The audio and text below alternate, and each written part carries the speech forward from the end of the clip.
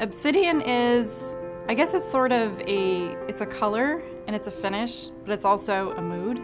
I think the color is is very emotional for something that's just sort of a dark, almost near black. It has a personality of its own that's very luxurious.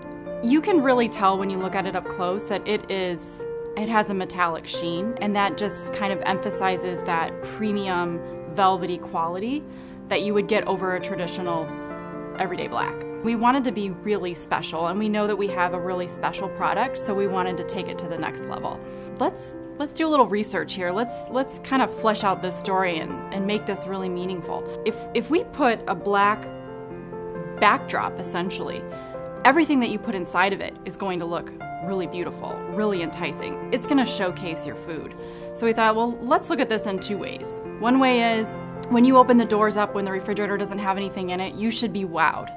The other thing is you should open it up when it has a bunch of food in it and you should be it should be presenting itself to you. That food should be showcased. You know, you look at old Dutch paintings and the, the background is really dark and the flowers are coming to life in a really beautiful way. And we thought that was really artistic and elegant.